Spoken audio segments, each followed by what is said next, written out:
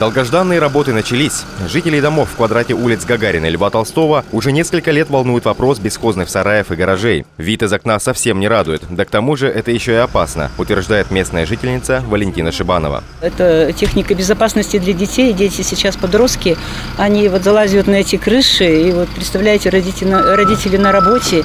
Ребенок может с этой крыши провалиться. Где тут, кто ему помощь окажет? Такая антисанитария, все сгорело, как бы, да, все не ухожено, все раскидано. И хочется, конечно, чтобы тут что-то как-то облагородить, было чисто.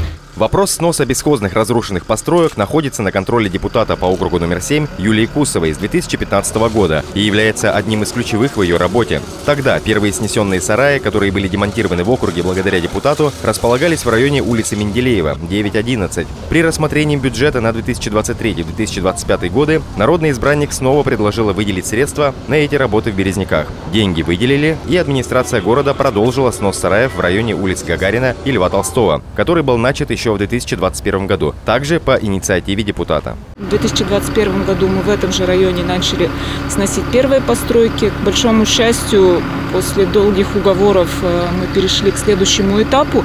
И я очень надеюсь, что при наличии финансирования эта работа будет плановой, потому что не только в моем округе есть эта проблема, есть необходимость сноса построек для того, чтобы освободить площади для благоустройства, для того, чтобы сделать наши дворы красивыми и уютными.